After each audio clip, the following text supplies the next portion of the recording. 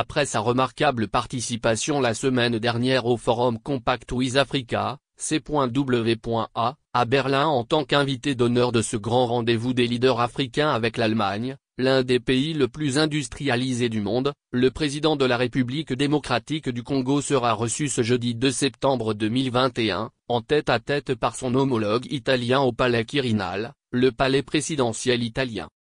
Sergio Mattarella et Félix Tshisekedi évoqueront la consolidation de la coopération bilatérale entre leurs pays ainsi que toutes les questions liées au rapprochement entre l'Italie et la République démocratique du Congo.